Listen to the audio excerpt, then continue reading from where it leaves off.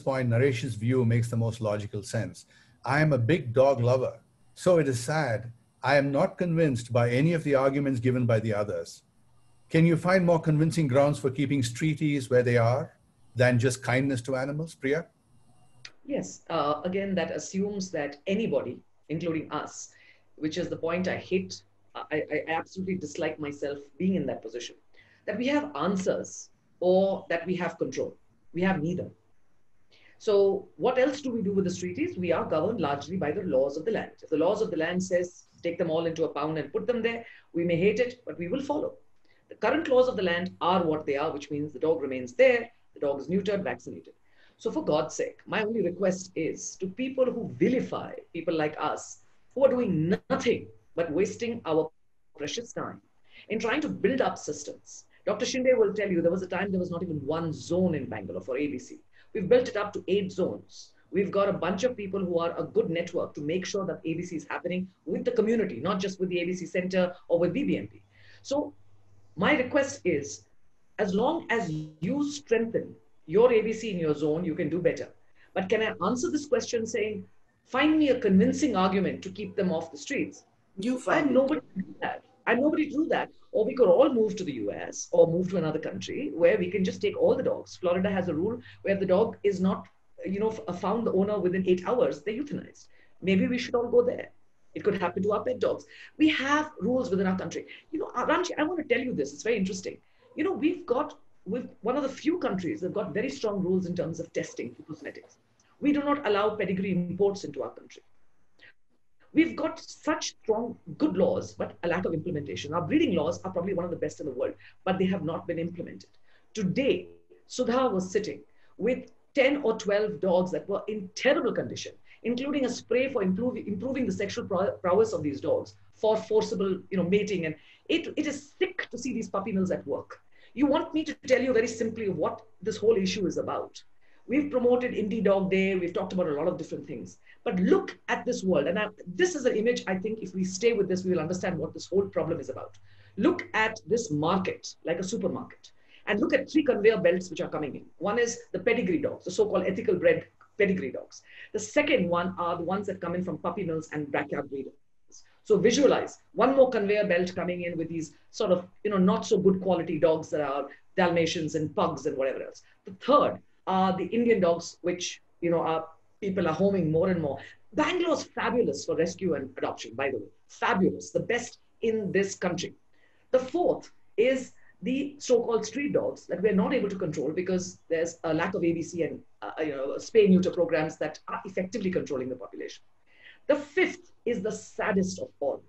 The fifth is the old discarded and reused dogs, the dogs that come from each of these four conveyor belts and come back onto the fifth one because they've been discarded by a Priya, rejected by a Sudha, thrown away by somebody, or ill and cannot be uh, looked after.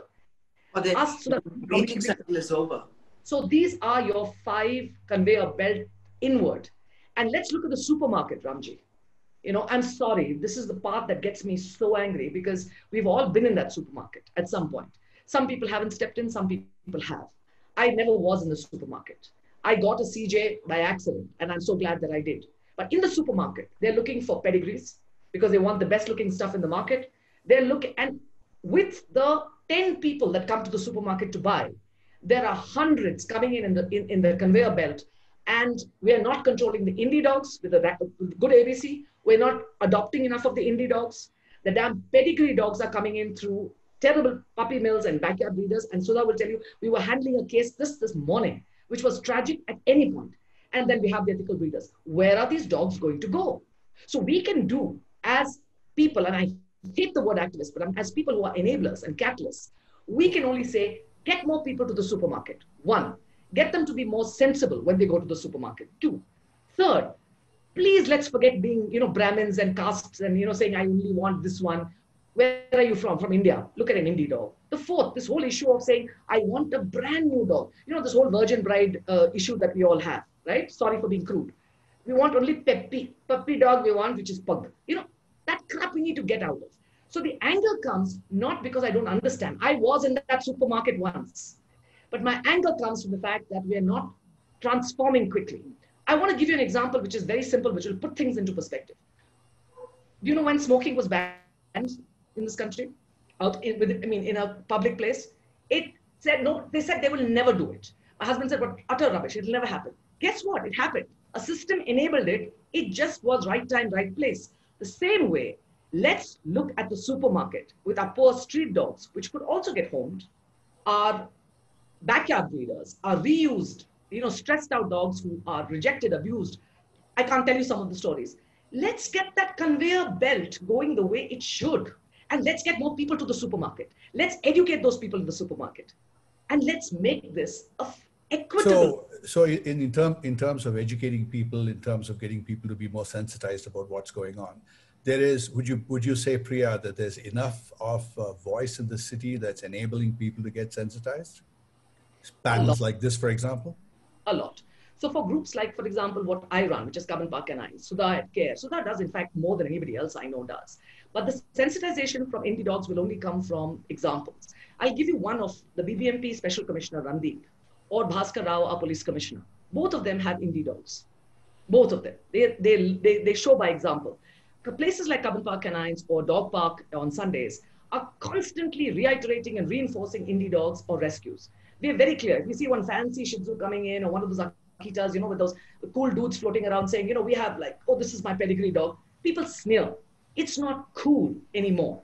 Yeah. To have a pedigree dog. You know, if, if cool. each one of us can do this. I mean, I know that my the people who work in my house, my maid, my driver, various people, had a terrible attitude about BD9. They said, yeah. Amma, why are you with this BD9s? And because I have so many BD9s.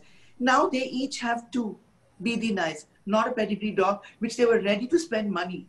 So do you, do you feel, uh, writing off Radha's statement over here, do you really feel that uh, this, the situation is improving in terms of the sensitization of people to street dogs and Very people generally understanding? Yes, very much, Ramji. It is improving, and because I can see it in the numbers, the statistics that I have, that every month the number of people who come in to adopt indie pups and who want pups, you know, vaccinated indie, cute indie pups from care is on the increase. And uh, even I have reached a situation where once I didn't have pups to give people, and I had to, you know, book them and then get good pups for them, which is, I don't know, it, it is the most wonderful thing that can happen to somebody in welfare who runs a shelter like me. It is increasing and we also at care we are doing this humane education. Every month we have about 20 sessions with people all over with children with everybody talking to them about adopting indies taking them off the streets like naresh was like saying you know we are doing it but there are limits and it will take time it will take time. Yeah, there has to be a will. But, but as, as if it's uh, so, your the the net result is it's it's on the upward swing right Absolutely. now. Where people are getting sensitized, yes, yes. and people are getting to understand what happens